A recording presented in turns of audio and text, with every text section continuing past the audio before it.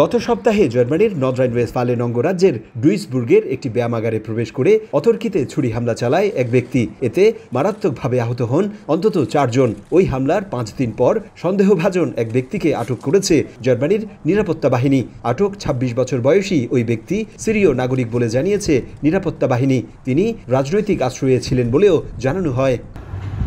রোববার মধ্যরাতে বাসভবনে অভিযান চালিয়ে তাকে আটক করা হয়। এ সময় সেখান থেকে হামলায় ব্যবহৃত দুইটি ছুরিও উদ্ধার করা হয়। এদিকে আহতদের অবস্থা আশঙ্কাজনক বলে জানিয়েছে স্থানীয় পুলিশ। হামলাকারীকে ধরতে দুই লাখ টাকা পুরস্কারও ঘোষণা দিয়েছিল নিরাপত্তা বাহিনী। ওই হামলার পর শহরটিতে আতঙ্ক দেখা দিয়েছে।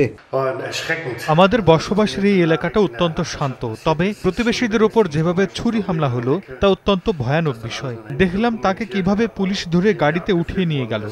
Auto তথ্য ভিডিও ফুটেজে আসামিকে শনাক্ত করা গেলেও কি কারণে এই হামলার ঘটনা তা এখনও জানতে পারেনি নিরাপত্তা বাহিনী। এর সঙ্গে সন্ত্রাসী হামলার কোনো যোগসূত্র আছে কিনা তাও খতিয়ে দেখছে জার্মান পুলিশ। জার্মানির নর্থ রাইট ওয়েস্টফালেন অঙ্গরাজ্যের ডুইসবুর্গে যুদ্ধবিধ্বস্ত সিরিয়া থেকে আসা রাজনৈতিক আশ্রয় প্রত্যাশী কর্তৃক এমন ছুরি হামলার ঘটনার এক সপ্তাহ পেরিয়ে গেলেও এখনও বিব্রত ও স্তম্ভিত স্থানীয়রা। অভিবাসন বিশেষজ্ঞরা বলছেন, এই ধরনের ঘটনায় অভিবাসন প্রত্যাশীদের উপর তো বটেই নেতিবাচক প্রভাব পড়তে পারে রাজনৈতিক আশ্রয় প্রদানের ক্ষেত্রেও, আর তাতে ক্ষতি অভিবাসীদেরই। জার্মানি থেকে বিটু বড়ুয়া, সময় সংবাদ।